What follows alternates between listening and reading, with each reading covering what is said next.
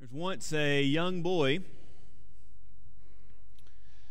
His mother was feeling sick, but when they went to the cupboards, the cupboards was bare. So the mother said, "Young boy, why don't you go to the grocery store? You pick us up some groceries." And the boy, of course, was very excited. This was the first time that his mother had ever asked him to do something like this, and he was very excited to ride his bike down to the grocery store by himself, unsupervised. He felt the weight of responsibility of his family upon him, and it enthralled him.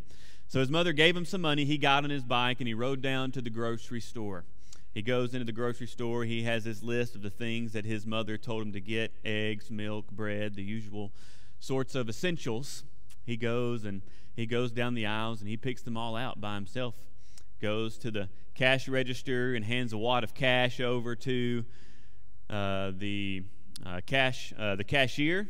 Uh, she bags it up for him, and he is so excited as he's carrying his bags out of the grocery store. In his excitement, he he trips and he falls, and his groceries fall out, and the eggs are broken, and the, uh, the milk is poured out of its jug, and he is just standing over his groceries that are in front of him, and he's realizing he doesn't have any more money, and he's heartbroken, and he's sad, and he feels tears start to well up into his face.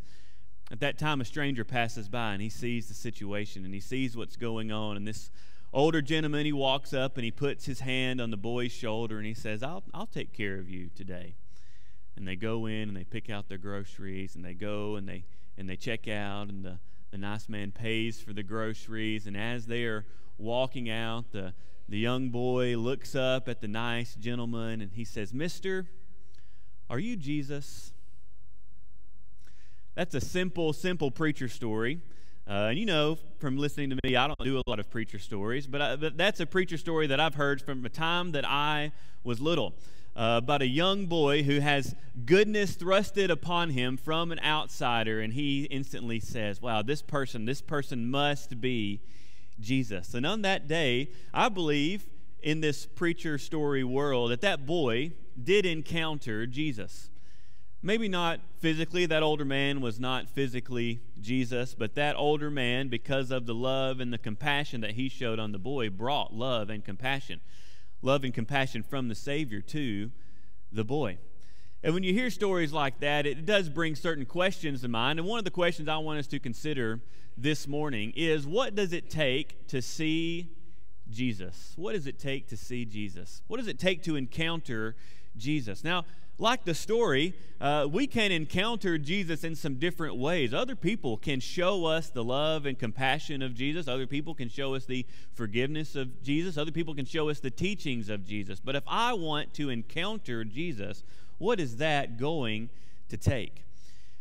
And there's different answers probably we could give. Uh, but whether you are someone who is seeking to become a new Christian and you've never encountered Jesus before, or you're someone who you've been a Christian for a long time, if you are seeking to encounter Jesus, what does it take to see Jesus? It's the same answer every time. The answer is faith. It's by faith that we encounter Jesus. It's by faith that we uh, see Jesus working in this world. It's going to take faith. Uh, we know that faith is. Uh, the assurance of things uh, that are not seen.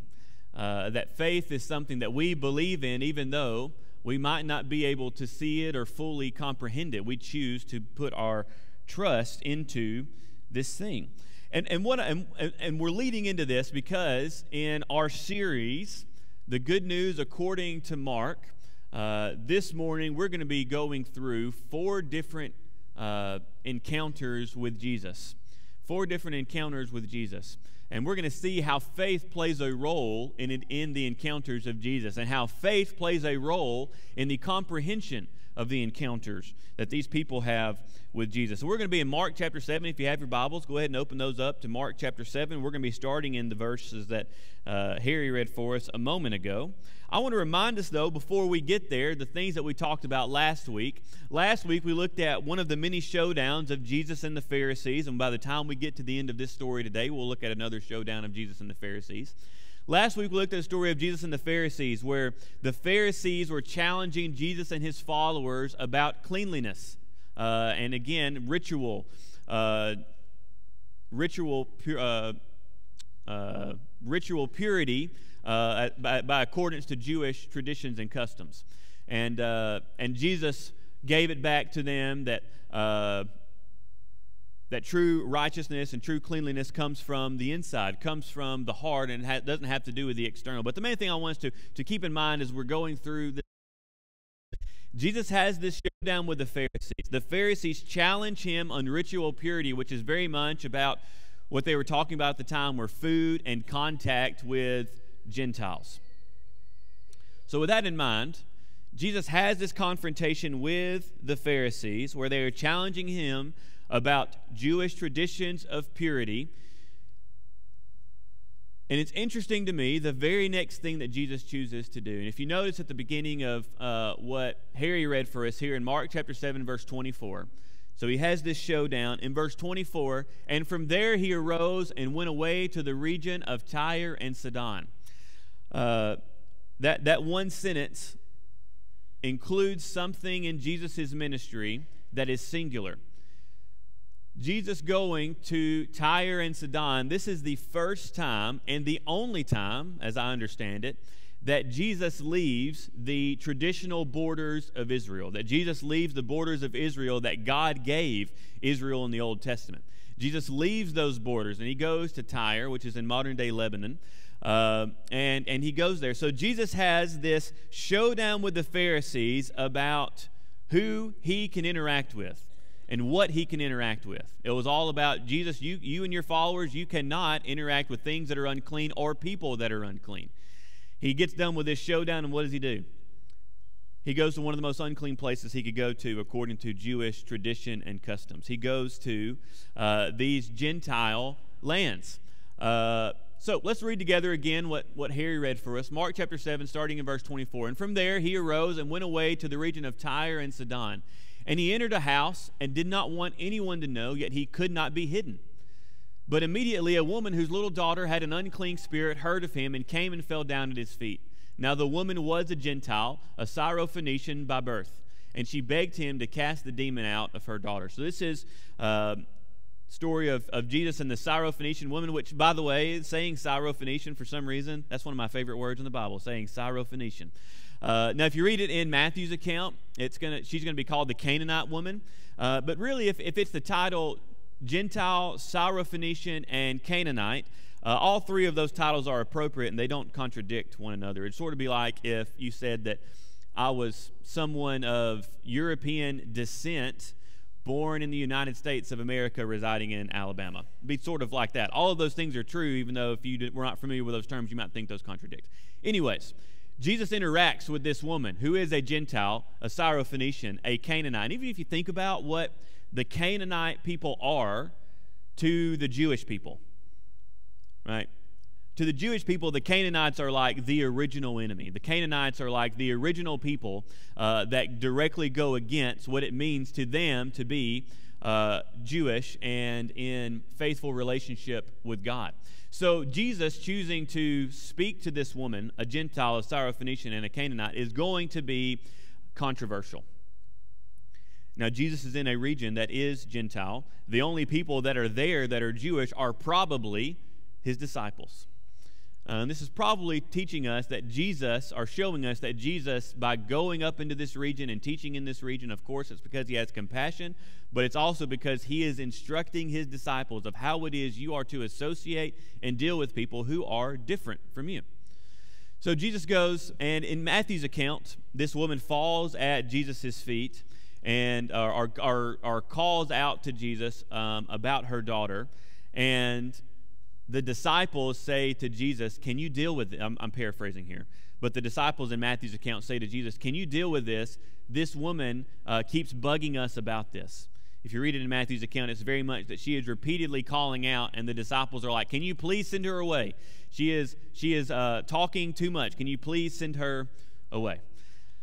Okay, with that in mind, uh, now the woman was a Gentile, Syrophoenician by birth, and she begged him to cast the demon out of her daughter.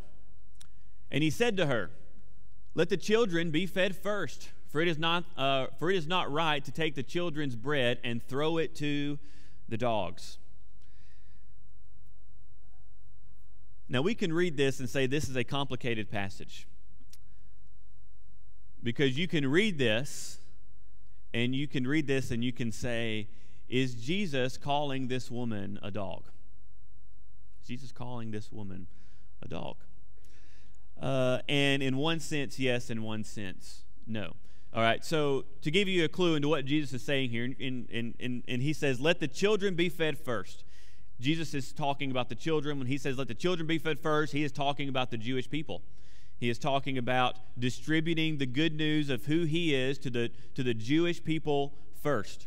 All right, so let the children, let the, let the Jewish people be fed first. For it is not right to take the children's bread, and Jesus is the bread of life. Jesus is the thing that is given to the world to heal, to solve uh, the world's spiritual hunger. It is not right to take the children's bread and to throw it to the dogs. The dogs represents uh, in in uh, to the Jewish people. It would be very common for the Jewish people, for the nation of Israel, to call non-Jewish people dogs in a very negative connotation. Uh, that would be very normal for, uh, for, for them to say. Uh, and Jesus is leaning into that stereotype. Jesus is leaning into the stereotype that Jewish people view all Gentiles as dogs. Specifically, I don't believe he's calling this woman specifically a dog. I think he is leaning into the stereotype that the Jewish people have that the Syrophoenician woman is going to be familiar with. Uh, there's lots of attempts that commentators try to make to soften this passage. I don't think it needs to be softened. Uh, I, don't, I don't think we need to try to make Jesus' words something that they are not. But Jesus is definitely leaning into the stereotype that already exists. And he is saying this because I believe in his eternal divine wisdom and knowledge of the woman's heart he knows what this statement is going to bring out of the woman. Jesus knows the things that he says, the kind of effect that they are going to have on the people that he is saying them to.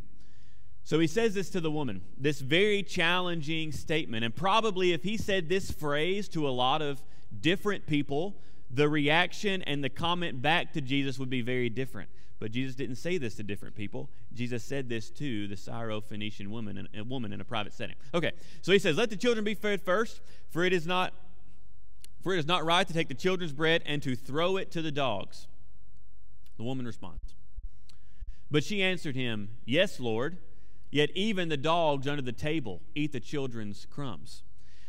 If if you were able to be with us during our study of the Jesus's conversation with the woman at the well. Uh, we did that on Sunday nights for a few months, uh, several months ago. And, and, part of the conversation of Jesus and the woman at the well was this banter back and forth. And you saw wit that was going back and forth between the woman and, and Jesus. And they were speaking similarly, uh, similar to how this conversation is going. Uh, where, where one party says one thing that maybe pushes against the other party, and the other party doesn't really take offense to it, but actually uses it to their advantage. Jesus does that here. Jesus says something that to many people, to many Gentiles, this statement would be offensive. But to this woman, Jesus knowing her heart, to this woman, she takes it and uses it to show her faith into who Jesus is. She says, Yes, Lord. She agrees with Jesus. Yes, Lord.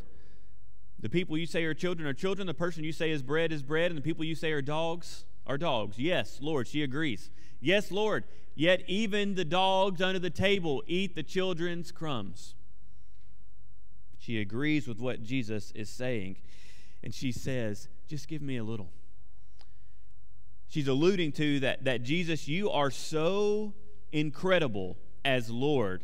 You can do so many things. You can do all the things that you want. Just a crumble a crumb is all I need, Jesus.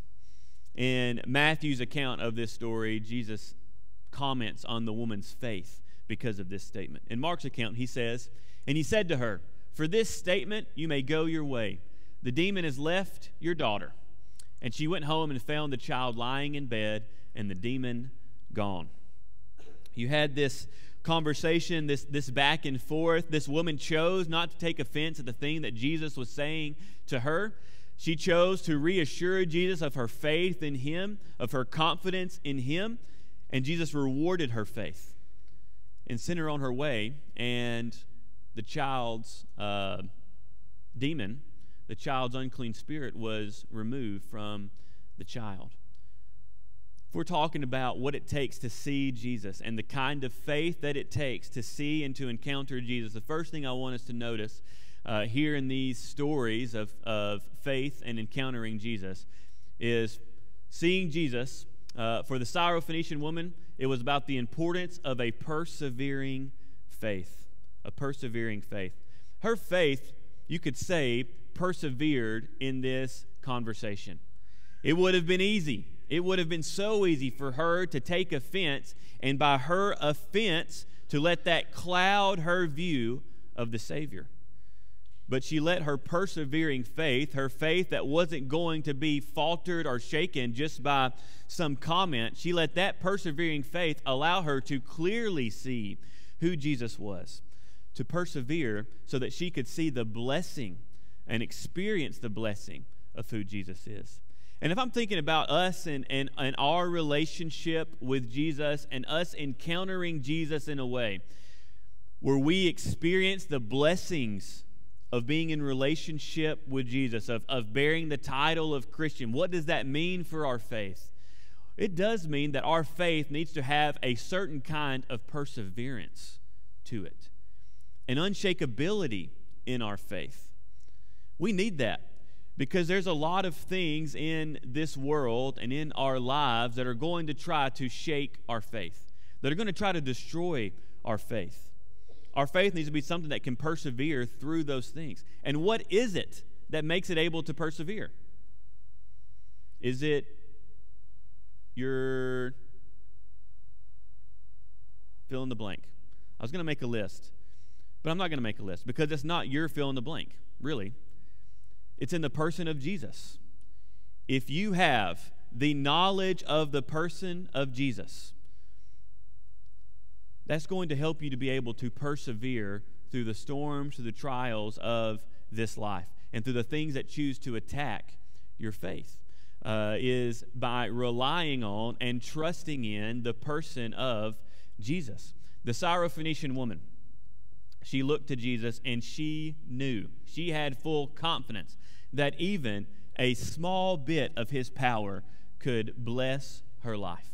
And she got to experience that because she persevered through this conversation. She persevered through the judgment that she experienced at the hands of Jesus' own disciples that were there. You get that in the telling of Matthew's account. And she persevered through the challenging statement that Jesus gave to her. Um,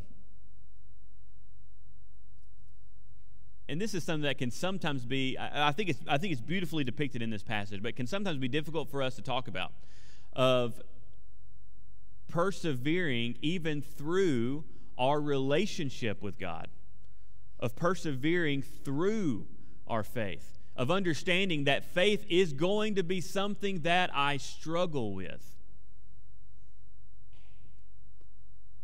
And that knowing in the midst of that struggle if I can survive through the midst of that struggle, I'm going to come out on the other side of it even stronger. You see that here with the Syrophoenician woman. Our next story here that, that comes up in, in Mark chapter 7, uh, we pick up here in Mark chapter 7, verses 31 through 34. Then he returned from the region of Tyre and went through Sidon to the Sea of Galilee. Uh, this is an interesting statement. Uh, the Sea of Galilee is south of Tyre. Uh, the city of Sidon is north of Tyre. So it says, from the region of Tyre, he went through Sidon to the Sea of Galilee. Jesus chose to go north in order to go south. It would kind of be like saying, uh, we, uh, I, am choosing to go, I'm, I'm going to Birmingham by way of Athens from Hartselle. Like that doesn't exactly make sense, but it's, you could do it. Uh, and that's what Jesus chose to do. He is ultimately going back to the Sea of Galilee, but he goes up through uh, towards Sidon, which for Jesus was about 25 miles from Tyre to Sidon. Uh, and, and within this one statement, then he returned from the region of Tyre and went through Sidon. The, the people that are uh, smarter than me, uh, these, these scholars who are more familiar with, with customs and timelines, estimate that from the time that Jesus originally left uh, the uh, region of the Sea of Galilee to going to Tyre and then Sidon and then back to the re- uh, region of the Sea of Galilee uh, took about eight. It was probably an eight-month journey, uh, and it's recorded in you know six or seven verses here in Mark. An eight-month journey uh, that mo- mostly we don't get many stories from. Many have speculated that this eighth month journey was a time for Jesus to really uh, impart his wisdom and his teaching upon the disciples and for them to really see how he operated. Because it's not long, it's, it's later on, uh, we'll look at it in two or three weeks, that Peter makes the bold confession that Jesus Christ is the Son of the living God. Um, and that's pretty quickly after they return back from, from this trip, this eight month trip that they're on. But a lot of people speculate that this trip was a special time for Jesus and his disciples to be away from the pressure of the Jewish population and, uh, and the Jewish religious uh, establishment and to focus on creating the Christian movement. Anyways, Mark chapter 7, verse 31. Then he returned from the region of Tyre and went through Sidon to the Sea of Galilee in the region of the Decapolis. And they brought to him a man who was deaf and had a speech impediment, and they begged him to lay his hand on him. And taking him aside from the crowd privately, he put his fingers into his ears, and after spitting, touched his tongue, and looked up to heaven, and sighed, and said to him, Ephphatha, that is, be opened. And his ears were opened, his tongue was released, and he spoke plainly. And Jesus charged them to tell no one, but the more he charged them, the more zealously they proclaimed it. And they were astonished beyond measure, saying, He has done all things well. He even makes the deaf hear, and the mute speaks. Now, this interaction happens here back in the region of the Sea of Galilee, back within the territory of uh, where the majority population is probably Jewish. Um, but Jesus has this interaction of healing a deaf and a mute man. And Jesus chooses to heal him, first off, privately. Second off, he chooses to use him in a very physical way. He puts his fingers in the ears of the deaf man. He applies spit to the uh, mute man's tongue. And through these things and upon the, uh, the statement of be open, the man hears and the man is able to speak clearly. Why did Jesus choose to heal this way? I don't know. I, I, I don't know. J- Jesus had healed people in many different ways. Jesus had healed people by laying hands on them. Jesus had healed people by being uh, not even in the immediate presence of the people that he was healing. Jesus had healed people who just came and touched Jesus. Uh, Jesus could have healed this person by any way that he chose to heal this person. And yet he chose, for whatever reason, to stick his fingers in the ears and to apply spit to the man's tongue. I don't know why Jesus chose the method that he did to heal this man, but I guarantee you there was a reason uh, that was obvious to the man who was healed or to those that were seeing it done. But the thing I want us to really take note of here when it comes to seeing Jesus and what kind of faith it takes to see Jesus, for the deaf and mute man, we see the importance of a people of faith. The importance of a people of faith. If you notice in the, uh, in the passage in verse 32, and they brought to him a man who was deaf uh, and had a speech impediment. They brought him to Jesus. This, this man was, was brought to Jesus. And then when, when it was done and Jesus is speaking to those, this is in a private setting again, he speaks to a group of people. So this was a people of faith, a collection of people that, that wanted to bring this person to Jesus. If we want to be people who encounter Jesus, we need to be amongst people of faith. We need to be amongst people who, when we are in need, people say, Let me take you to the feet of the Savior. Let me take you to the one who can heal you. Let me take you to the one who can help you. And I hope you have people like that in your life. That is the uh, blessing of what it means to be part of a congregation, a, a local congregation. Uh, all of us need to be part of a, of a local congregation, a local church family, where we have genuine and real relationships not just where we see each other uh, a couple times a week, not just where we happen to sit in the same room and worship the same God at the same time, but where we have people in our lives who know the things that are going on in our lives, who are invested in the things that are going on in our lives, so that they can say, Wow, you're going through this? Let me take you. Let me take you to the one who can heal you. It's so important to be amongst a people of faith. Uh, if we want to encounter Jesus, if we want to see Jesus and not just uh, have a theoretical knowledge of who he is, but to actually experience what it means to be touched or healed by the Savior, a, a big part of that is doing that alongside other people of faith. Our third story this morning, as we go through these four stories in, in Mark, picks up here in Mark chapter 8. Mark chapter 8, starting in verse 1, it says, In those days, when again a great crowd had gathered, and they had nothing to eat, he called his disciples to him and said to them, I have compassion on the crowd, because they have been with me now for three days, and have nothing to eat.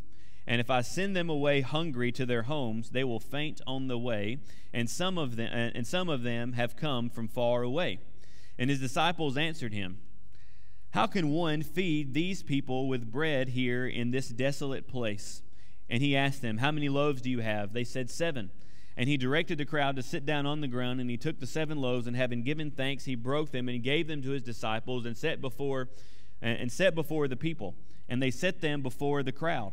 And they had small fish, and they had a few small fish. And having blessed them, he said that these also should be set before them. And they ate and were satisfied. And they took up the broken pieces left over, seven baskets full. And there were about 4,000 people. And he sent them away. And immediately he got into the boat with his disciples and went to the district of Dalmanutha. Now, this story is uh, the second feeding that Jesus does of a massive crowd. A few chapters ago, we looked at Jesus feeding the 5,000, and now we see Jesus feeding the 4,000. These are two separate stories, uh, not to be confused with, with one another. These are two separate stories. Um, and one of the differences that you notice in this story is these people that Jesus was choosing to feed had been with him for three days. We don't know the exact uh, nature of the three days that they had been with him. Uh, but, but the idea is that probably Jesus had been teaching and maybe doing some healing with these people for three days, an extended period of time. So they had been laboring with Jesus uh, for quite a time and, uh, and learning from, from him uh, in, in here in this Jesus feeding the 4,000 located here in, in Mark chapter 8. So, as we're thinking about seeing Jesus and encountering Jesus, for the crowd that was fed, we see the importance of a patient faith. A patient faith. Chances are these people experienced some great things when they were in the presence of Jesus by Jesus teaching them. Maybe Jesus was even performing some miracles of healing them. But we see that as they're interaction with Jesus went on from day to day to day, that ultimately at the end of this, they had something that was truly noteworthy where Jesus multiplied food and fed 4,000 people. And why was that? Well, it was because that they chose to labor with Jesus for days on end. Uh, they chose to experience Jesus for days on end, and they received a blessing after they labored with Jesus for some time. And as I think about us, and, and, we are people who we want to see Jesus, we want to experience the presence of what it is to be with Christ and to experience the blessings of what it is to be in relationship with Him. Sometimes what that is going to mean is patience. Is patience. We might be people who walk with Jesus daily. We might be people who gather with God's people every time the doors are open and we have a genuine relationship with, with God's people and we have a genuine and true and strong relationship with the Savior. But maybe it's to a point to where you're in that relationship and you say i look at other people's relationships and i don't i don't see my faith being in the same place that their faith is. I don't see blessings in my life like like other people maybe have experienced blessings. You know maybe the 4000 crowd there they had been with jesus for days on end and they were getting hungry and they were thinking you know what? We haven't we haven't experienced the feeding that jesus did like he did with that crowd of 5000 but as they stayed with Jesus, as they labored with Jesus, as they were patient in what they were experiencing, eventually they did experience that blessing of this mass feeding because of Jesus' compassion on him. A lot of times we might not experience the blessings, the full blessings of what it means to be in relationship with Jesus we might not experience those in the way that we expect to experience them daily. But the important thing is to keep laboring with the Savior. It's almost like, if any of you, I don't know how many readers we have out there. Sometimes I get a book to read, and it's sat before me, and it's a large book, and I look at it and I think, I'm never going to get through that book because it's so big. And, and, and you can even kind of see it in your in your Bible because Bible you know the pages of the Bible are, are very thin pages and you and you read a page you're like man that's a thin page and it goes over it's like I don't I, I have not gained any man that's that's not very much then you read another page like oh man that was a, that was a lot of reading, and I haven't gotten that, that much yet. Well, it's a long game, isn't it? When you're reading a book, especially a, a, large book, you're reading a book, it's about the collection of pages that you read. It's not about necessarily the singular page, but the collection of pages over time that gets you to the blessing of what it means to be invested in God's word or in the book that you are reading. And it's the same way oftentimes in our walk with God. We, we, have, we have a day with the Lord and we say, I've really labored with the Lord today. And we look back and we're like, man, have I really gained that, that much from laboring with the Lord today? And the next day we choose, I'll, I'll, I'll, do, I'll labor again. And we, and we labor with the Lord again and we make decisions for the Lord again. We look back like, have I really gained that much from laboring with the Lord today? And we do it for a month and we look back like I, I, mean maybe but have i really gained that much? But it's a collection. It's a journey. It's a walk with god over time. And before you know it it adds up. And our patience in laboring daily eventually adds up to like man look where i was and look where i'm at now. That's what it means to be a christian to be to be perseverant and patient in our faith to understand that this is a marathon that each of us are running.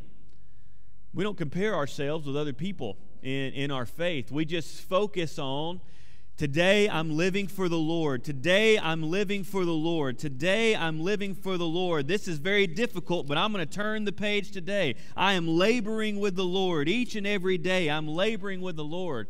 And before you know it, you experience the blessings of what it means to patiently labor with the Lord. You do that, you see and you experience the Savior in ways that before you didn't know that you could. You have that in your life. So we see if we want to encounter Jesus, the importance of a persevering faith, the importance of being amongst a people of faith, and the importance of a patient faith. Lastly, we're going to look quickly at the last story here this morning. In Mark chapter 8, verses 11 through 13, Jesus is back amongst the Pharisees. Mark 8, starting in verse 11. The Pharisees came and began to argue with him, seeking from him a sign from heaven to test him. And he sighed deeply in his spirit and said, Why does this generation seek a sign? Truly I say to you, no sign will be given to this generation. And he left them, got into the boat again, and went to the other side. Now, had Jesus been doing signs? Yeah. He had been doing many, many miracles. The Syrophoenician woman, she came to Jesus without ever witnessing a miracle of Jesus. She had only heard about what Jesus had done. The deaf and mute man, the people that brought him to Jesus, they had probably never witnessed a miracle of Jesus, but by faith, by hearing the thing of, of who this person was, they brought him to Jesus, and their faith allowed him to be healed. The Pharisees and the scribes, they had heard about Jesus. They had heard about his miracles, they had heard about his teachings, and they go to him and they ask for a sign. Why do they ask for a sign? Not because they have faith in him, they ask for a sign to test him. And Jesus sighs deeply. And speaking about the ruling government of the Jewish faith at the time, he says, This generation will never see a sign. They won't see it. They are in the presence of Jesus, and what are they doing? They are totally missing Jesus. They are totally missing God.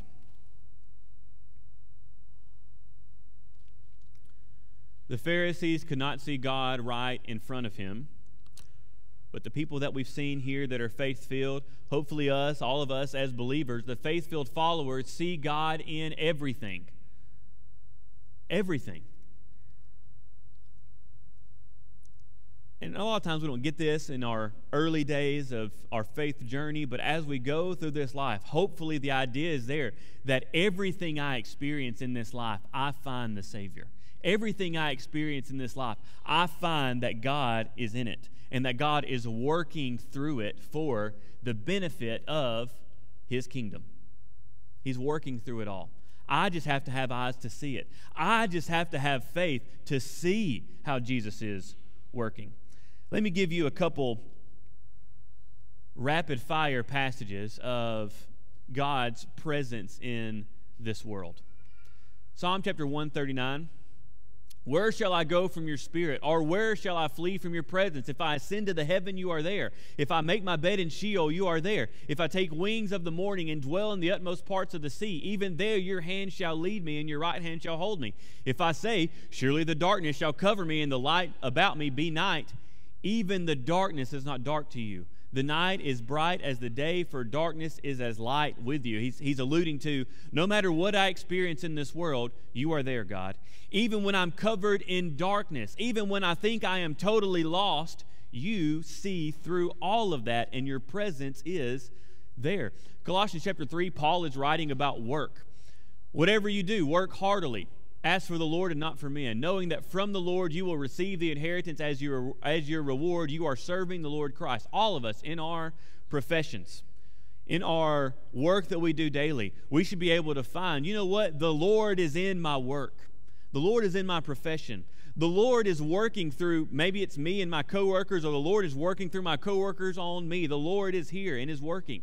James chapter 1 17. Every good gift, every perfect gift is from above, coming down from the Father of lights. Everything you look at in your life, everything you look at that is good in your life, you say, wow, that's good. That's from God. Wow, this, this thing I have in my life, whether it's a person, an object, a material blessing, it's from God. God has allowed you to have that. Every good gift and perfect gift is from above. 2 Corinthians chapter 12, verses 8 and 9, Paul is speaking about his thorn in the flesh, this trial, this difficulty that he has in his life. And he says, Three times I pleaded with the Lord about this, that it should leave me. But he said to me, My grace is sufficient for you, for my power is made perfect in weakness. Therefore I will boast all the more gladly of my weaknesses, so that the power of Christ may rest upon me. All the things that are bad in your life, all the things that bring you pain in this life, you can find the Lord in it you can find a way to say, This is, there is God in this. God is able and capable to work through this for the glory of his kingdom. The Pharisees, they wanted a sign so bad. For whatever reason. They, they, they wanted, or for, for the reason of, of not, not genuine faith, they wanted to see a sign. They wanted to see the Messiah, but they never saw the Messiah. They missed out on God in front of them. The faith filled see God in everything. See God in everything. We're going to offer the invitation. This morning, I'm asking you the question Do you see God in your life? Have you experienced the Savior in your life? Not just a head knowledge of, yes, there is a God and yes, there is Jesus, but the real Jesus has worked in my life. Jesus has transformed parts of me that I could not transform. Do you see God in your life? I, I, hope that you do. Maybe this morning you, you hear about the goodness of who Jesus is and you say, I want that in my life. I want to become a Christian. That opportunity is here for you this morning. If you want to become a Christian, we invite you to publicly uh, confess your faith that you believe that Jesus Christ is the Son of God. Uh, that, that based off that confession, you choose to repent, to change your, your life, and to, and to live your life from less of self and more of God, to being focused on Him, to being immersed into the waters of baptism for the remission of your sin and rising out of that waters as a new creation, something new that you weren't able to create. If you want to become a Christian, that opportunity is here for you this morning. Or, or maybe you've done that, but you look at your life and you say, I know God, I know Jesus, but I feel a serious lacking in my life when it comes to how I experience Him in my faith. If that's you and, and, and you say, I need to make a change, make that change this morning. Maybe that change involves you coming and, and making some sort of public confession or some sort of public asking for forgiveness, or maybe that, that change involves you sitting right there where you're at right now and just closing your eyes and having a real, genuine moment with the Lord where you're at right now. Make the change. Commit to turning the page today and tomorrow and the next day and see where it takes you. And if there's anywhere the church can help you, uh, and you and your faith journey and what you have going on in your life, won't you come as we stand and as we sing?